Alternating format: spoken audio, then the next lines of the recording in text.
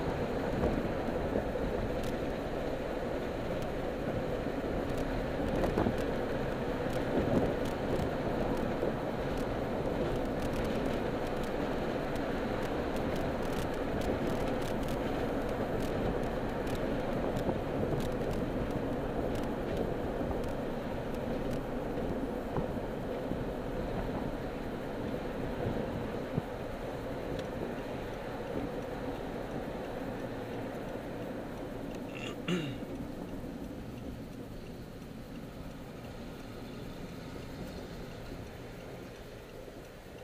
that was a dick move, their uh, handicap van.